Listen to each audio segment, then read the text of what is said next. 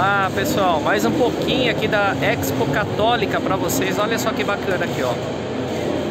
Várias semijoias, né? Pessoal que gosta de bijuterias, muita coisa bonita para quem curte. Várias lojas aqui na Expo Católica. Livros para quem gosta de ler, olha aqui, ó, várias livrarias.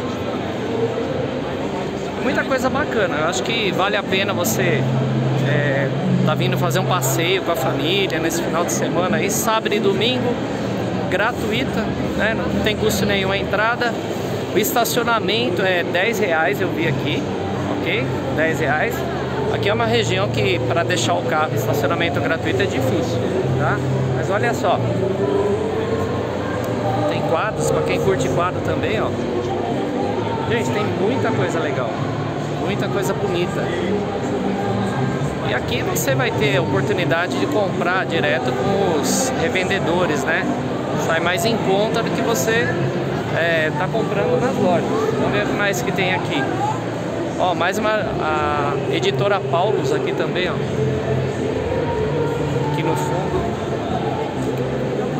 Para quem curte leitura, tem roupas também, camisetas. Eu não tá no outro lado da da feira, não, tá longe agora, até eu chegar lá é, acaba demorando, aí o vídeo fica longo, né? Mas ó, tem até um queijinho aqui, ó, tem um mió do queijo, aqui ó. Tem até, tem os lugares para lanchar tem.